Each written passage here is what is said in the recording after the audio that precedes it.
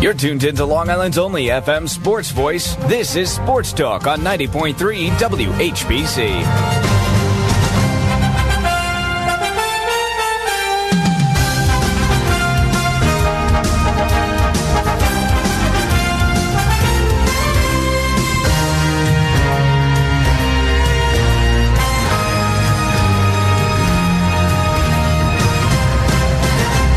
Sports Talk, the voice of Nassau Community College, 90.3 WHPC. I guess I don't get any claps because I'm, 'cause I'm not Chris. I'm not Chris Muldoon. It is Mark Talkie filling in for the first hour. Chris is on assignment right now and on his way back. He's just got off the plane, and uh, we got here. They call him T Sizzle, Tristan Hamilton. After nine o'clock, I turn into T Sizzle. You guys know um, how you guys doing today. Um, I have something positive to talk about. Honestly, with one of my teams, I see something that I like, but we're gonna get into It's, that. it's Kevin Knox, right? Uh, listen, listen, listen. We're not gonna give them spoiler alerts now. And that is also- something that I like. That is also the voice of Cameron Yes. Banagora. yes, I'm here. What's up, people? Yes, I thought you were going to say we found we found Nemo. no, no, I was. Yeah, the missing fin. It grew. He hit a, he hit a home run yesterday. Who? It's oh. the walk off. Oh. Brandon that. Nimmo. Oh, Brandon Nimmo. Oh, yeah, yeah, yeah, yeah. That was that was that was great. And we got it. We're finishing before the All Star break up against the Nationals. So hopefully we could put together a, a good series right here.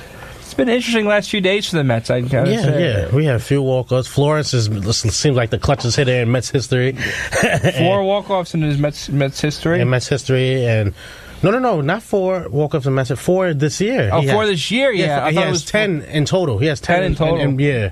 So, t- uh, so um, Flores has really been producing, but 13 and a half again, Degrom pitched another great. Um, outing and we just couldn't f- figure out eight eight scoreless innings, one more eight scoreless innings, five hits. There's nothing else you can ask for. him. 13 and a half back. Hey, you never know. That's what I'm saying. That we have a whole second half to to get back together. Nobody. three quarters, or one quarter, or whatever. yeah, yeah. So we're, we're gonna we're gonna see. We're gonna see. But we could do something. The Mets have got hot around this time a lot of times. So Yeah, for 15. Remember in 2015, that San Diego game was exactly. the we always need that one thing to inspire us. So hopefully, you know, that's something good. But the Yankees got a, a a series I'm looking forward to against the Indians. This should be a great, great series. I'm looking forward to it. Is that right, Cameron? Right? Yeah. Yeah, How, how do you feel it's going to turn out? Uh, hopefully we can pull out some wins You know, out of the Indians. They're not a very. Uh, they're a hard team to beat, but luckily their bullpen is absolutely that's awful. their, that's their weakness. That's the weakness So, of the team. just tied 4-4. I was listening in on the ride in. It's 4-4 now. So- Okay, and who's pitching for the Yankees? Well, it was Severino and Kluber. No, no. Oh, those those were the starters. Yeah. but both of them got lit up. Yeah. Basically. Well, Oh, six, okay. when you give up four runs like that, yeah. So Yeah. now, Because what inning is, is it? It's Um, bottom of the sixth. Oh yeah, so they got they both got lit up pretty early then. Yeah. It happens. It happens. Severino was due for one of those games. The last time Severino had a game that he uh, what didn't win was the Mets series, right? I think that's the last time he lost since he hasn't lost since then. Because he only has two losses, right? Yeah, two losses. And the last one was against the Mets, I think, in that series. The last game, the Sunday night game.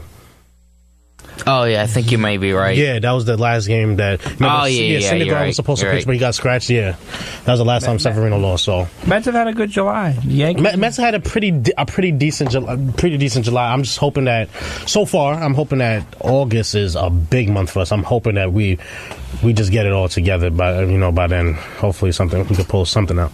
You know, August is coming around. July's end of July is coming. You know what that means? Coming around. What does that mean? School? Football.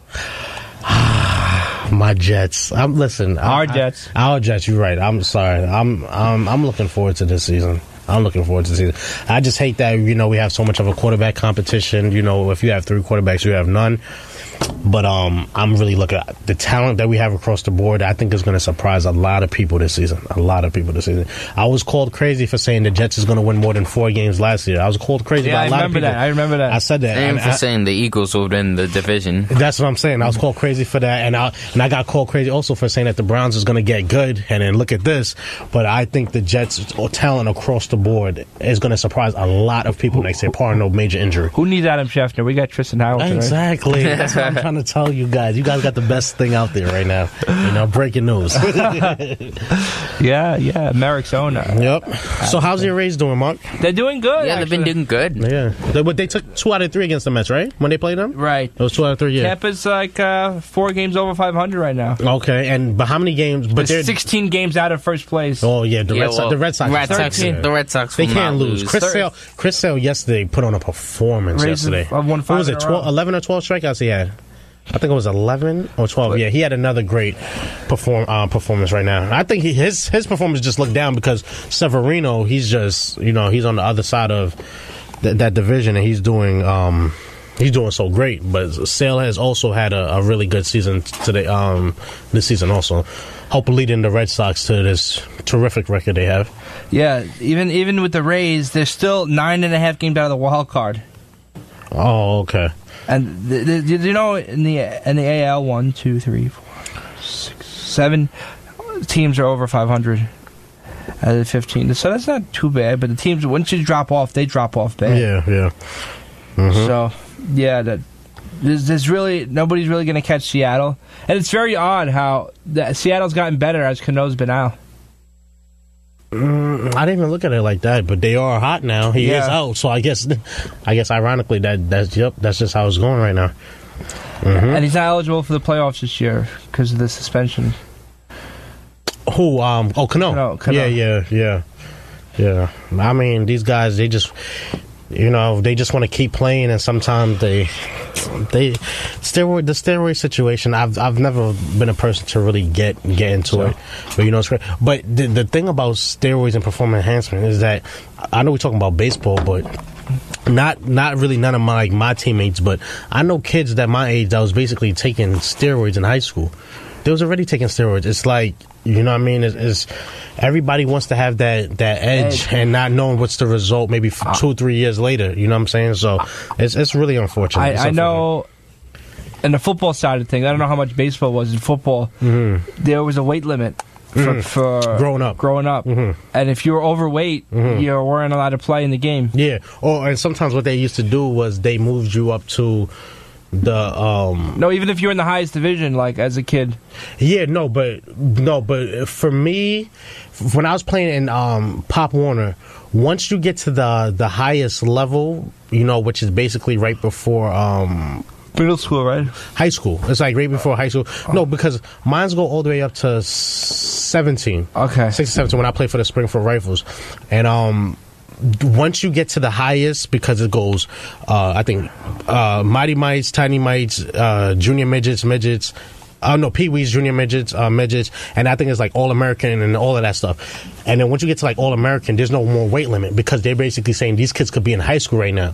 So it's like you know in high school you don't have there's no weight limit. So they stopped the weight limit after um after Right. the the junior midget level because now kids in high school they're gonna gain weight, try to pack on more muscle, so they don't really Right. they stop but, that after but the younger ages, they have the height limit, the weight limit, because if they're too heavy, the kids can get. Yeah, no, seriously hurt. No, that no, that's true. But what they also do too, like especially in mines, when you were when you were, they just moved you up to higher, so you would be like an eight year old, but because of your size, you might be playing with the eleven and twelve year olds. Yes. So that's what they they they do, so that kids don't feel like they're just wasting their money at the program. You know, so that's also, I don't know if that's like how it is everywhere, but that's how you know it was where I, where I grew up playing football and stuff like that. Phone number to call in is 516 572 7442. Would love to hear what's on your sports mind this evening. Mm-hmm. Uh, we also will dive into the John Tavares thing.